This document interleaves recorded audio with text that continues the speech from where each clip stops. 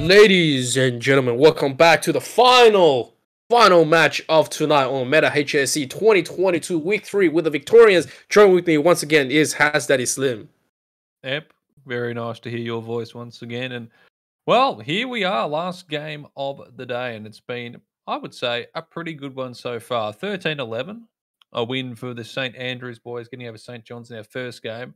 And then it was a 13 to 2 as Elwood College got Brookside. Well, they just they caught them off guard. Brookside at the start with a five man uh, attacking squad. Didn't quite go the way that they were hoping, but you know sometimes that happens. And now to finish, we've got Glen Waverley secondary, secondary college up against Lakeview Senior College to win the day. And well, I, mean, we've already watched the, some of the Glen Waverley games, and they've been they've got a very good side there, some very good players. Haven't seen much of the Lakeview guys yet, but I have heard some good things about these ones. Uh, you know that they're up there, they've got a chance towards the finals end of things. But I got to say, uh, you know, last map here, we're going to Breeze. Not my favorite map and I feel like I, I, feel like a few people might agree with me in that regard. But maybe it's just me. I don't know. I feel like Breeze Breeze Eight was there early. Maybe it's maybe it's cooled down a bit. Maybe I'm just you know, I'm just not you know never going to get used to this map playing it. But uh, this should be a good one to finish. A lot of excitement, chat. It's been going all night. You know, everyone's been popping off, and enjoying themselves. Usually, the Glen Waverley fellas to this one, uh, the chat usually gets moving a fair bit. So Remains to be seen how this one will go, but I'm looking forward to what should hopefully be a great game to finish this night.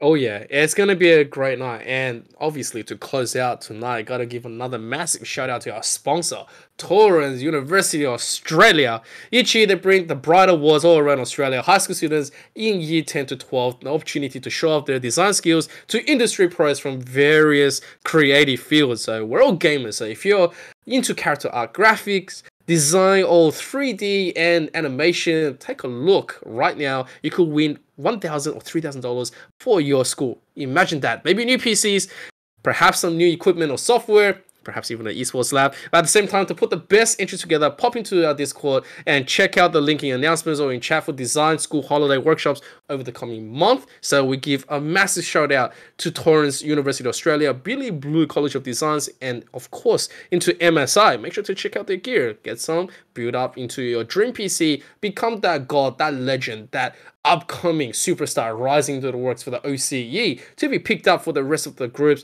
And let's just do it. All right. It is going to be something that we're going to be going through as we get back into this. Going back to what you were saying, has Breeze, I do agree. It's one of those maps where it feels a little bit too huge to play into just the 5v5. If we're going back into the old CS days, maybe if we're doing like a 15 or even 16 on 16, then that's a possibility, you know? It's sort of like brings yeah, back that Aztec feel, yeah? that would that would definitely change things up, I would imagine. Unfortunately, we are stuck with the five players on both sides. So usually I think like we've seen a lot of this. Chambers become a very big map pick for this one. You know, you've got the ultimate there, the operator set up, the same thing as well with a lot of Jett players. You do see a lot of Viper lineups as well, especially over towards, uh, I would say, the ace site.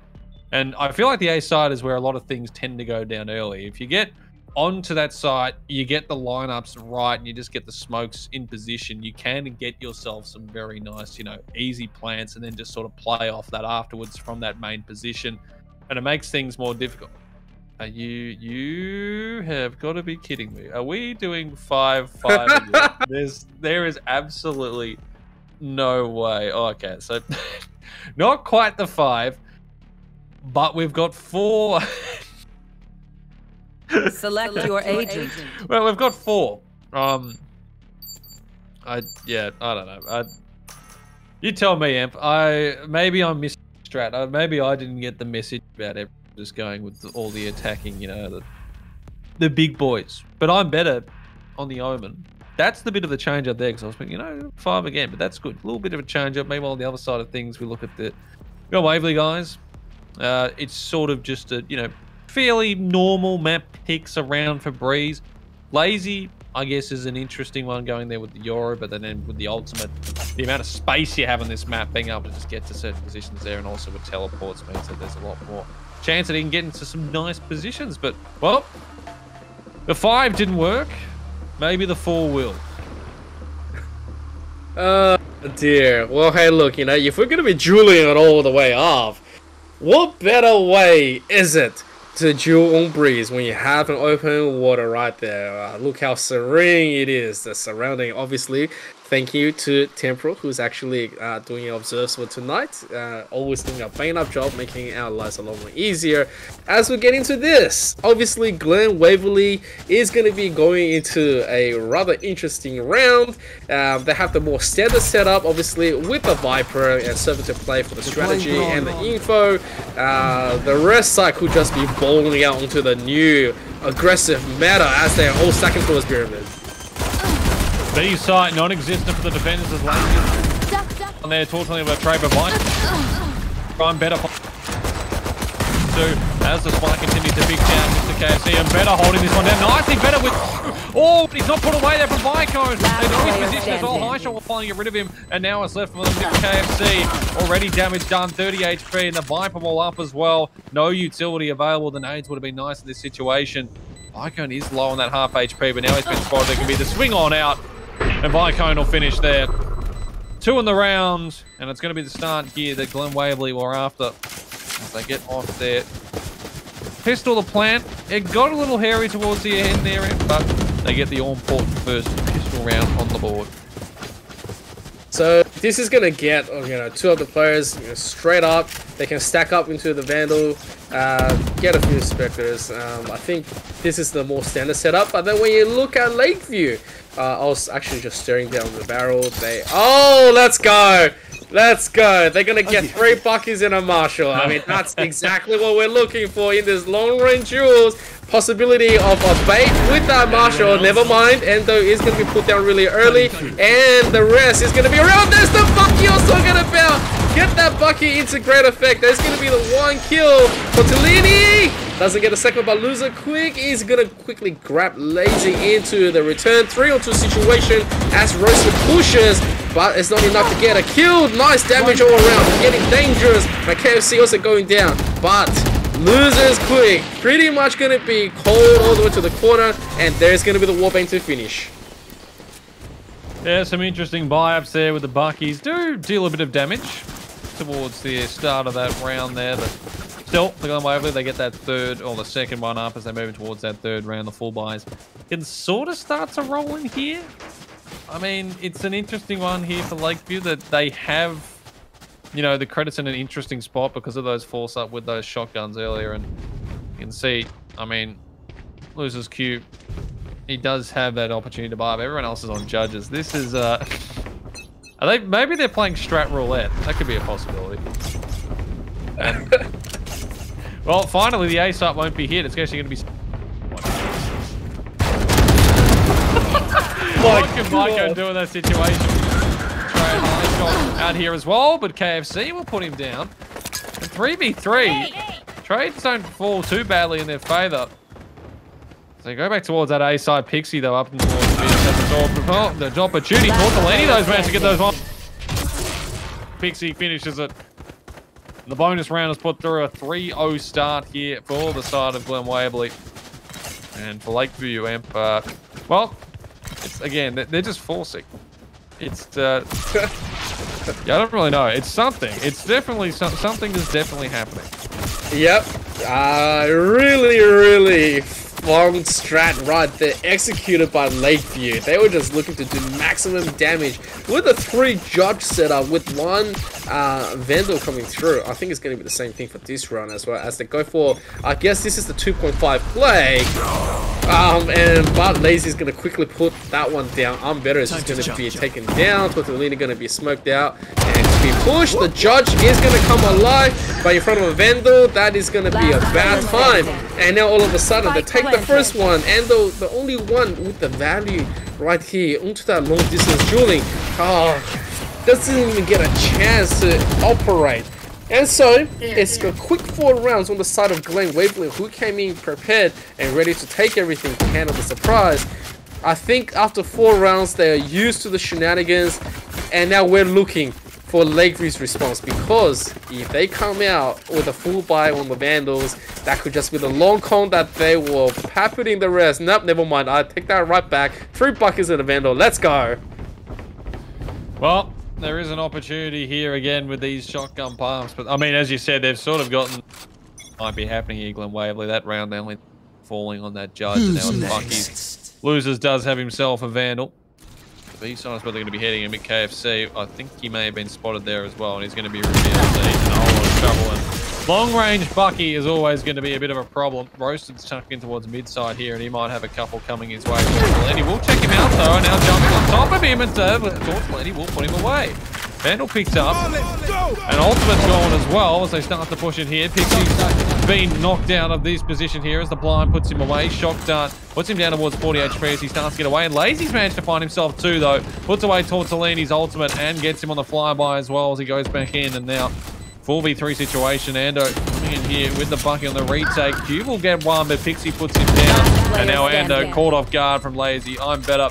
Well, I don't know if he's better than these three at the moment because he's only got the 4 HP available. Oh, actually, nice. Put a nice on the bike going. But Lazy's there for the trade back out. Finds himself three in the round. And it is a 5-0 start here on the side of Glen Waverley. I don't know what to say. We're uh, we playing CS 1.3? I mean, the bunny hopping and all the big pump action shot, it could just be in full effect as there is gonna be a difference. Here we go. They were just setting us up for the mega bait. So there is gonna be the full Vandals purchase a possibility, a real 9000 IQ play could just be able for the defense right here. As there is full proper long range, there's going to be the Blaze coming up as well, trying to get the reset, looking for the absolute pick. But Vicon obviously with that 244 also executed. I'm better quickly take that first one. The spike is dropped, but I'm better is going to be denied anymore. This is, oh, they are just going to be hammered in as we're going for 2v2. Time to jump. An opportunity in this round for Lakeview to find that first. The flank behind from a KFC grabs that one. And Pixie's going to go down to Wando. To one. They... Some nice trades and a nice 2v2 finish there as well. They get on the board here, Lakeview. 5 to 1 and Waverley drop there first still have themselves a nice buy coming in to this one Three ultimates available here as well, Em, for the guys over on Lakeview as they have their Vandals out. Tortellini might be a bit low, looking to pick up that Marshal by the looks of things. But it's Vandals across the board for everyone else. Full utility, full armor. As they look to try and find their second round holding on the defensive side. Looks like, again, the A site seems to be the way to go for a lot of teams. And again, the drone going out to others early, but Hugo's going to find that one nicely he can't get tagged as well. They know he's positioning. Dart will go up. That's going to be destroyed immediately. Oh, destroyed immediately. Actually missed that first one as Mick Kevs AFC trying to go through that big tube. Roasted going to get rid of him there, and Roasted finds another one to Ando. As they try to rotate across, Loser trying to hold this one down. He goes to second, but Lazy puts him away, and high shot grabs Tortellini. It's all left to I'm better. Has found the first. Spike's heading towards the B side think what Lazy just did there, gotta give him a highlight. Like that was 100% um, Yoru special right there. well, he knows where he is.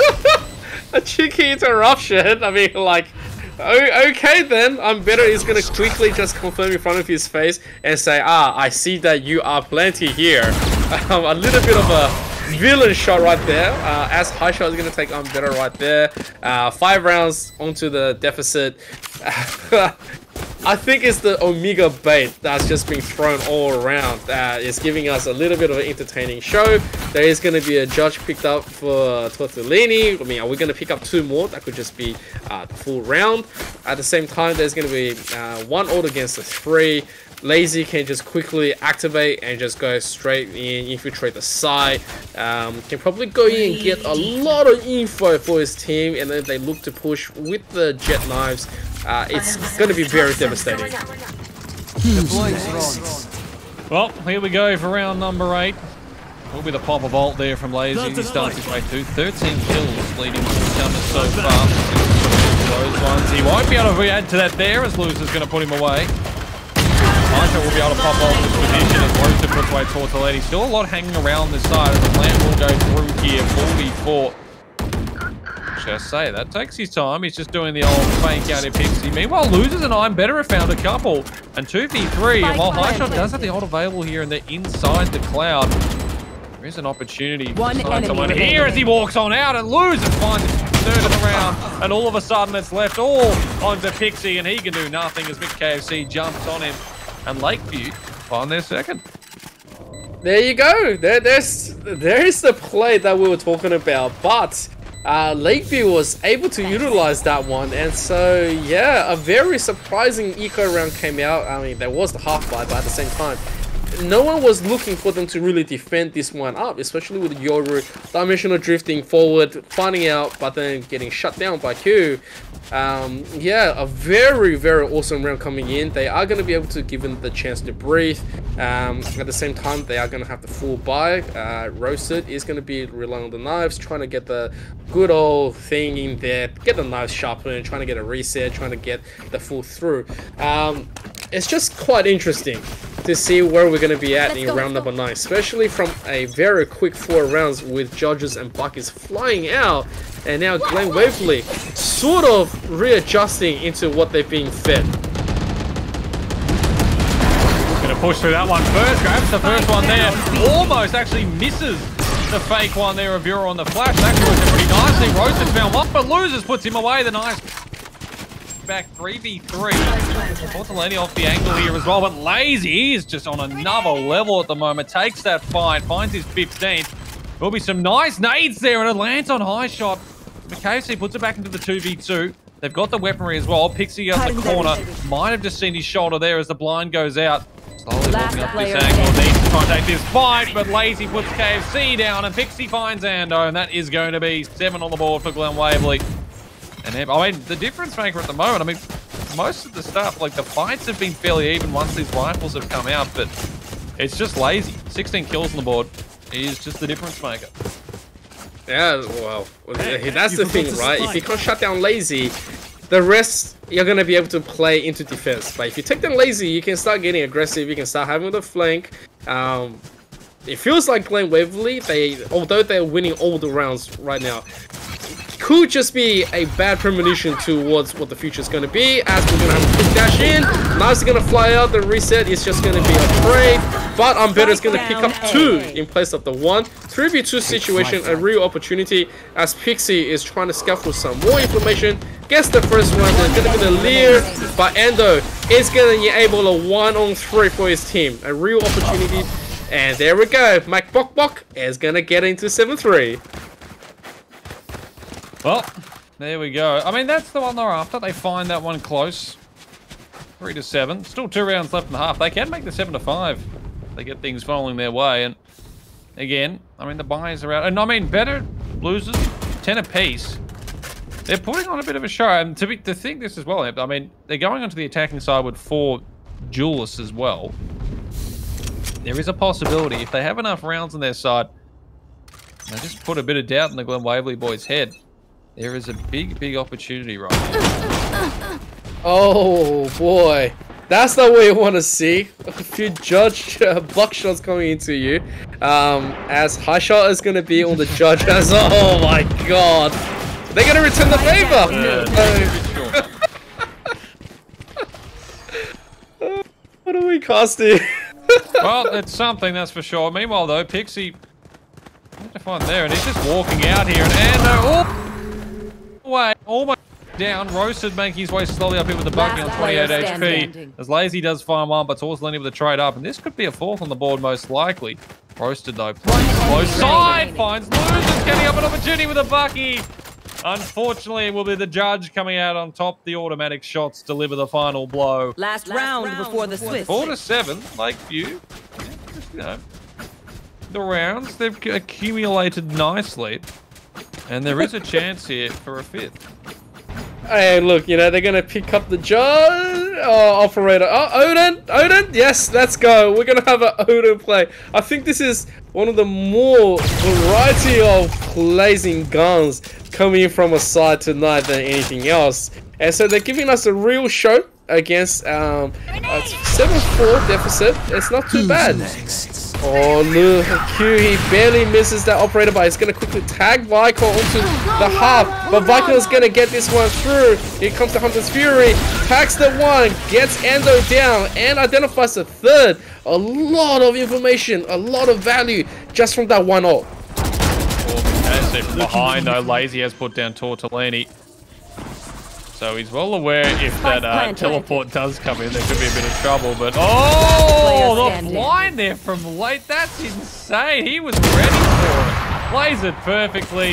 Vicone puts away better, and Glen Waverley will finish with eight.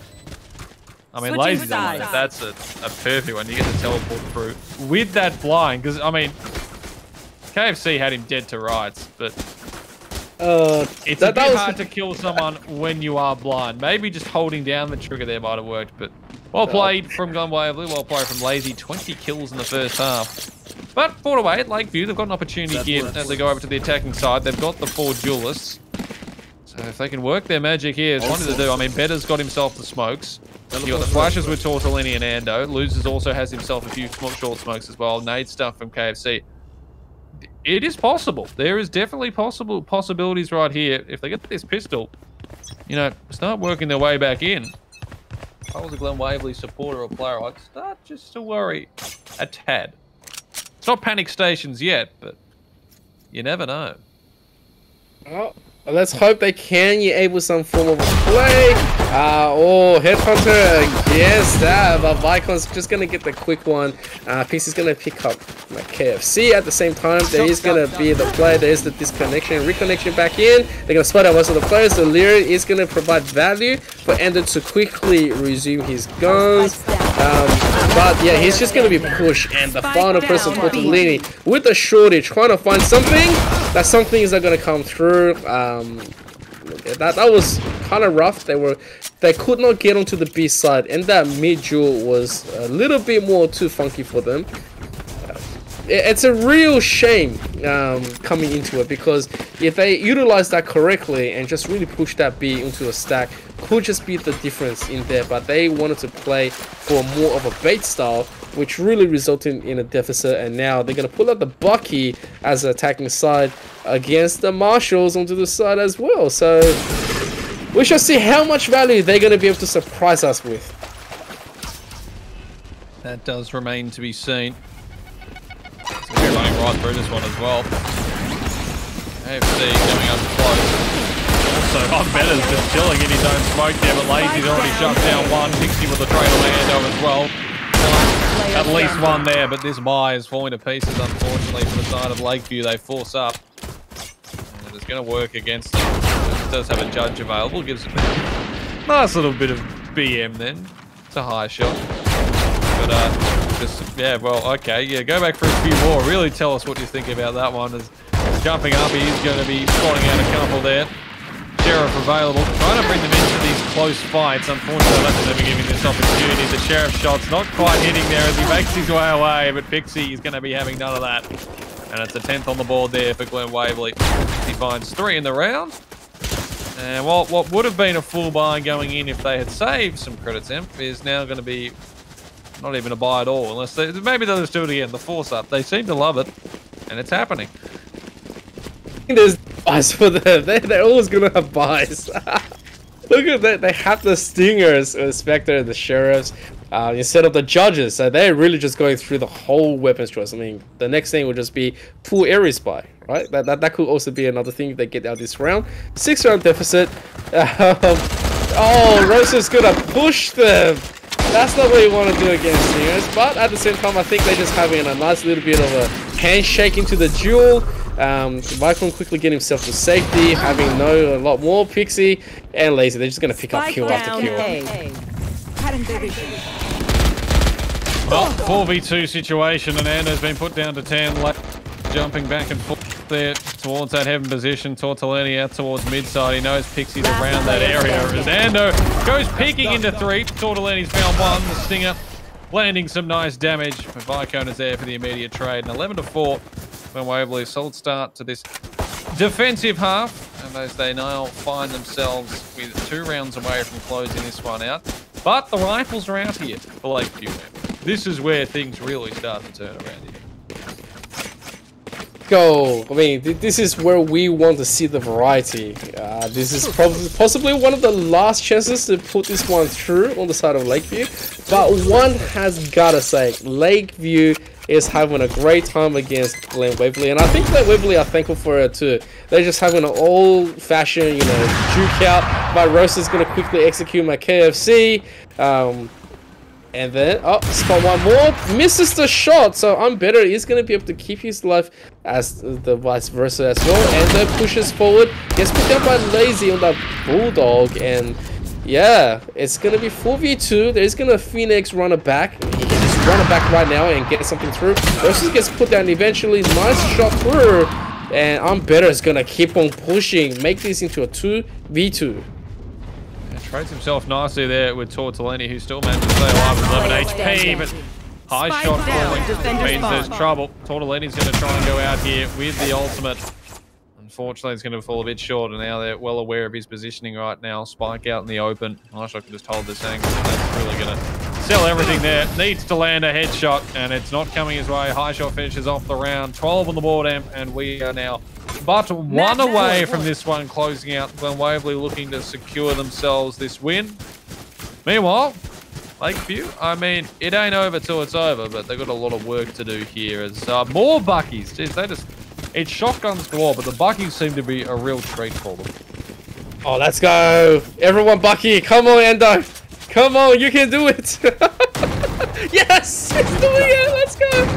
Five of them. Full bars. This is the full buy. oh, no. He goes to the judgment. He doesn't have armor. So, uh, very interesting last possible round coming in. As they quickly storm into the B. Lazy just goes from the flank. He gets a triple. And I think he wants that ace right now. Fake step all the way through. High shot's going to deny. But, yeah. 13 to 4. A victory for the Glen Waverley Secondary College on the attack.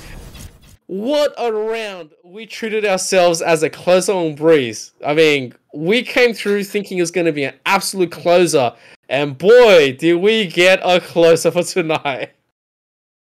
Well, it was something. I mean, another, this time it was the four jaws out instead of the five, but uh, unfortunately that strat just doesn't seem to be working at the moment for teams that are attempting it. But I mean, all credits to Lakeview for giving it an attempt and bringing out the shotguns as well. Really nice to see all the Buckies as well.